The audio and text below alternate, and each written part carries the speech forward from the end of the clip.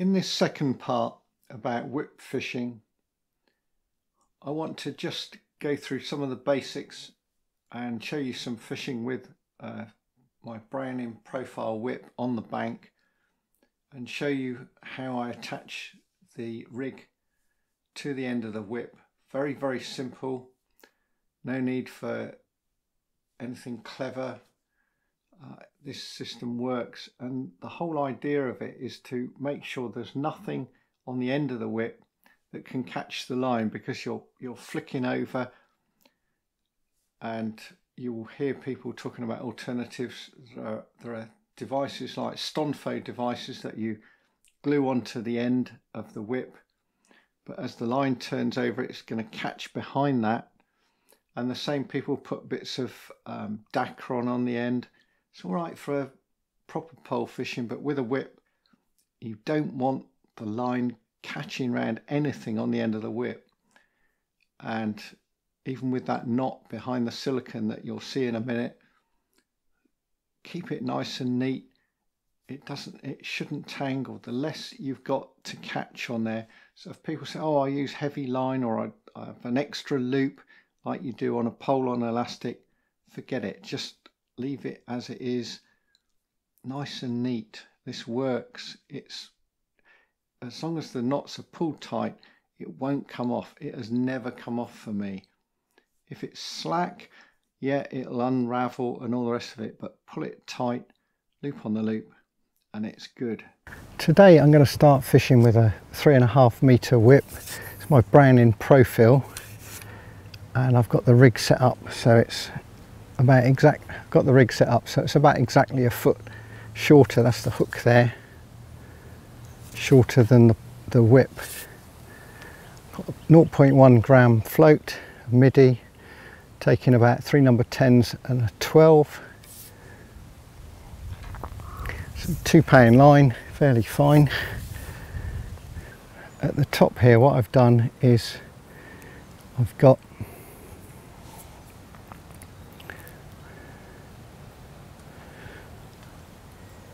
put a loop in on the end which push the, the main bit of the line push the main bit of the line through the loop and then it's behind this little piece of silicon rubber here that's pushed up six inches from the end. There's the end there. And then make sure it's tight and then just turn the, the whip round. Just spiral it up the, the top and just turning it quickly pull that tight. And then I've got a short piece of fine fairly stiff pole rubber. Just wet the end. That fits nice and snugly on the end of the whip. Push that down over there. So there's about uh, about four millimeters overlapping. Pull the line through nice and tight and that will never come off and because that end bends nicely it tends not to tangle. So it's a very very good and very secure rig.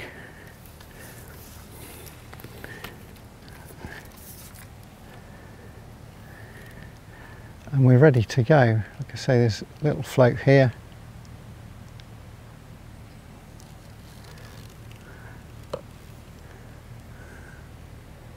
this 0.1 gram float. Very simple rig. A short hook length of just six inches. And that, that is it. I've now got fishing away.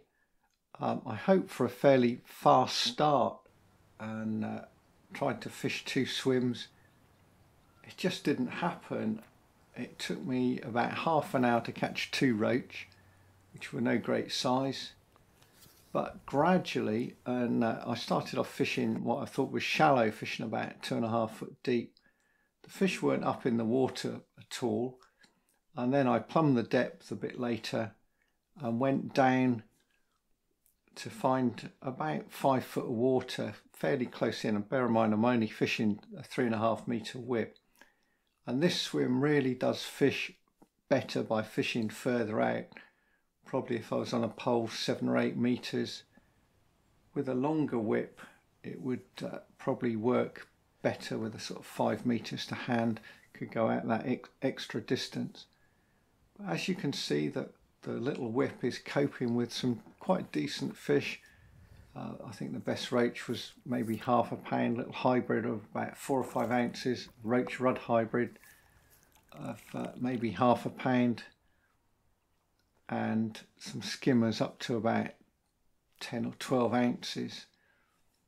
Uh, as the session went on, and I only fished two hours at the most, it was clear by the after about an hour and a half that it was fishing really quite well, catching uh, roach and skimmers quite regularly. The swim had come on properly, and then the weather went all funny. Uh, it threatened to rain quite heavily, although it didn't. So rather than get very wet, I packed up at that point. As I say, this is just a, a short demonstration of fishing a, a short whip, a three and a half meter whip. Keep it simple, keep the shot in simple, and you're going to do all right. I'm going to just mention something about floats, and I'll look at floats more in more detail another day.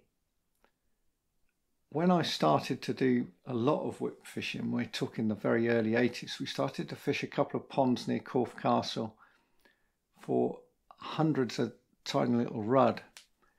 And I quickly made some tiny little wagglers that I could fish bottom end only, and they're only about three inches long with little inserts and all the rest of it.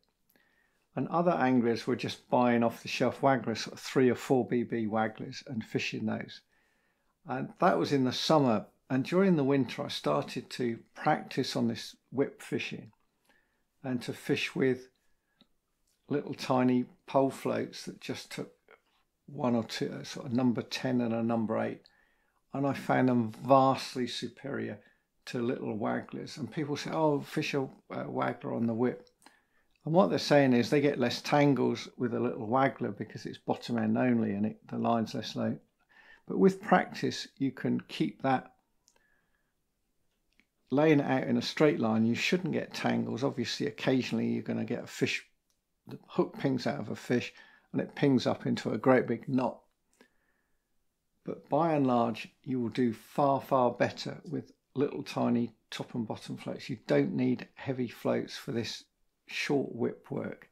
When you start to get onto a river with five, six, seven, eight meters long lining, then you can start to fish with anything from sort of a third of a gram, half a gram, up three quarters of a gram, a gram, maybe a bit more probably not much more than that because pole fishing and whip fishing gives you the ability to use fairly light floats with a lot of delicacy.